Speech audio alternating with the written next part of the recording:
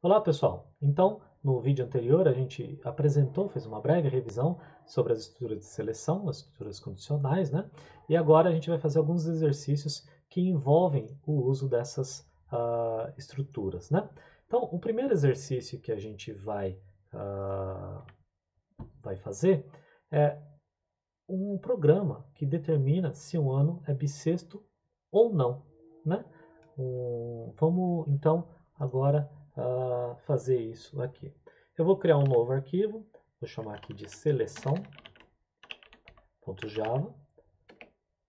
para conter o nosso código, né? É, e vou colocar aqui dentro dele uh, aquele esqueleto que a gente já está acostumado, né? Então, uh, aqui o esqueleto uh, que a gente já está acostumado.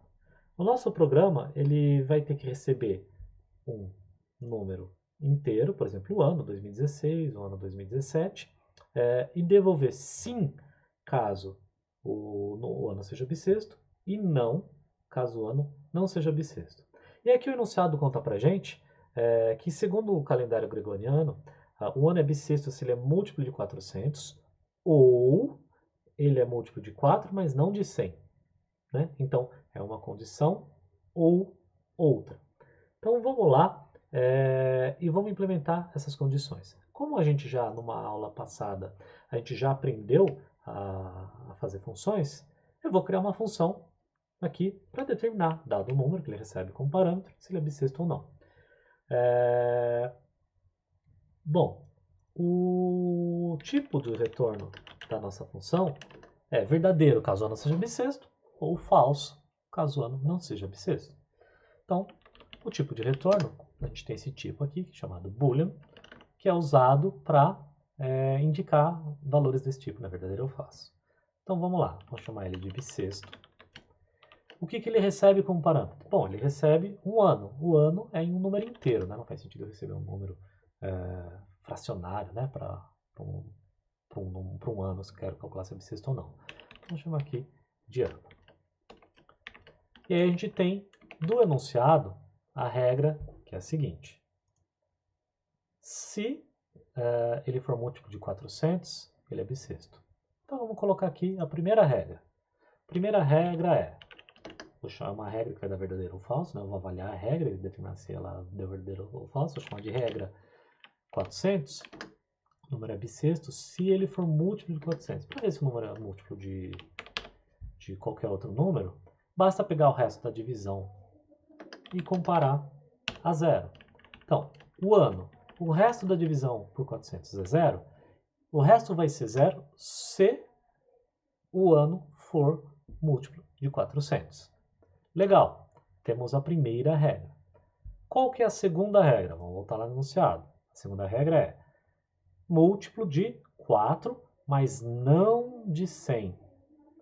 Então, a segunda regra aqui, que eu vou chamar de é, regra múltiplo de 4, mas não de 100, é o seguinte. É, se o ano for múltiplo de 4, então a gente usa o mesmo truque que a gente fez antes, né, pegando o resto da divisão, mas ele não pode ser e, né, ele é múltiplo de 4 e não é múltiplo uh, de 100. Bom, a gente usa a mesma regra que a gente usou antes e verifica se ele não é múltiplo de 100. Então, o ano não pode ser o resto da divisão por 100 não pode ser igual a zero, tem que ser diferente de zero. Né? Quando a gente usa uh, exclamação igual, a gente está indicando diferença. Né? Igualdade é igual a igual e diferença é exclamação igual.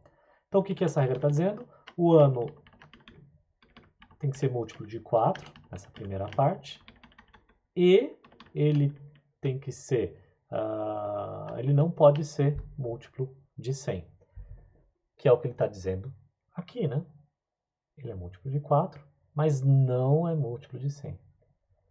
Bom, a regra dos 400 ou a regra dos 400, se qualquer uma delas for verdadeira, esta ou esta, nós podemos então dizer que o nono é bissexto. Então a gente já usou uh, um operador lógico aqui, né? O e.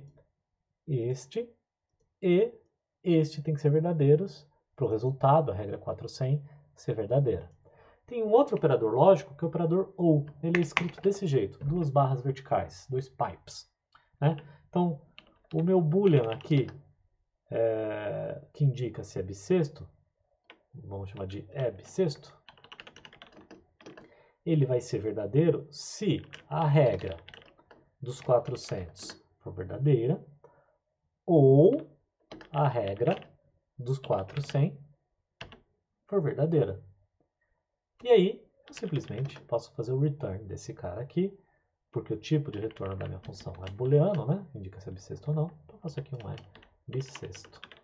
Né? E aí, pronto, temos a nossa função que calcula se o ano é bissexto ou não. Como é que a gente usa ela? De novo, a gente pode pegar aqui, int ano, que é igual a sc.nextInt. Temos o nosso aqui, o nosso ano aqui. É, a gente pode é, agora chamar a função, né?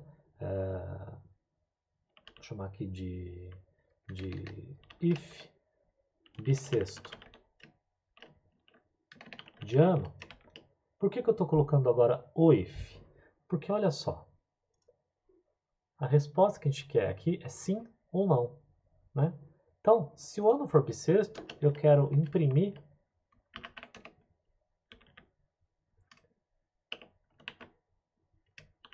sim. Né? Então, se essa condição for verdadeira, ele roda o que está dentro dessas chaves. Se não, se ano não é bissexto, só tem uma opção, né? Aí eu posso escrever simplesmente aqui não. Então, olha só o que está acontecendo. Chega, peço para o usuário digitar o ano. O usuário digita o ano. Chama a função que a gente acabou de criar chamada bissexto ano. Lá dentro ele calcula a regra do 400, 4100, junta as regras devolve verdadeiro ou falso. Estamos aqui de volta. Se esse cara for verdadeiro, ele roda essa linha. Se esse cara aqui for falso, ele roda essa linha. Então, se for verdadeiro, ele imprime sim, se não, ele imprime não. Vamos salvar, né? Vamos para o nosso terminal. Vamos compilar. Então, java seleção. Opa, escrevi errado ali, né? Java seleção. Rodo o programa seleção. 2016 ele tem que imprimir sim. Beleza, parece que está funcionando. Imprimir 2017. Não. Beleza. É... E Java seleção 2020. Onde a gente está agora, né? Enquanto eu gravo esse vídeo. Sim. Então, beleza. A nossa função está funcionando e temos a nossa primeira estrutura usando uh, o primeiro código que usa uma estrutura de seleção aqui que determinado se o ano é bissexto, imprime sim, se não, não, e chama uma função bissexto aqui. Tá legal? Nos próximos vídeos a gente vai fazer um pouco mais de exercício usando é, estruturas de condicionais ou estrutura de seleção. Até lá!